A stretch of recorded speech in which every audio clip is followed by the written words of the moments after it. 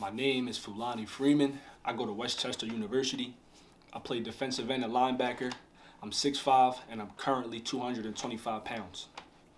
What goals did you set or accomplish in your final collegiate season?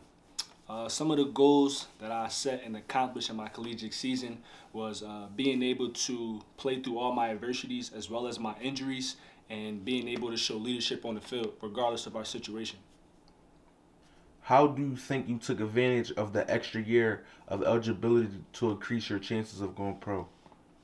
Um, the advantage that I took was being able, uh, making sure I was prepared mentally and physically. Uh, I was waking up 5 a.m. in the morning, going back to workout at 12 p.m. and going back to workout at 7 p.m. Um, I was also going to personal development classes as well. What would your coaches or teammates say about the type of player you are? Uh, the type of player that a lot of the coaches and players would say I am. Uh, I'm extremely athletic for my size. Uh, I'm long, fast, I'm scary, and I'm extremely fast off the ball. When you are studying film, what are the things you focus on to improve your game? When I'm studying film, a lot of things that I look for to improve my game is the negatives as well as the positives, but more so the negatives so that when I go to practice the next day, I'm able to work on everything that um, I seen in my negative game. What separates you from the other pro prospects at your position? Uh, something that separates me from a lot of pro, the, the pro prospects uh, is I'm, I'm very athletic for my size. I'm 6'5", and I carry a lot of weight on me, and I'm not afraid to move.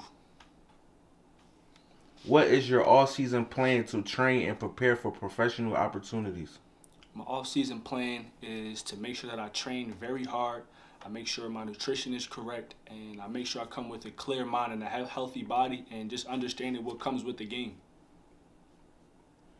What kind of strengths and abilities will you bring to a team that will stand out both on and off the field? On and off the field, the abilities and strengths that I'll be able to bring to a team is showing great character. Um, I'm not afraid to be a leader, whether it be from word of mouth or through my actions, and just being a great playmaker. What is your final pitch to the NFL and any other pro leagues? Um, my final pitch is that I'm, I'm hungry. You know, I, am starting from the bottom. I came from the bottom. I came from nothing. Um, I didn't dropped out of college plenty of times. Um, I didn't struggle through injuries, raising kids, everything. So um, I'm not giving up. So if this is what, what it takes, then I'm willing to do anything to get to where I got to be.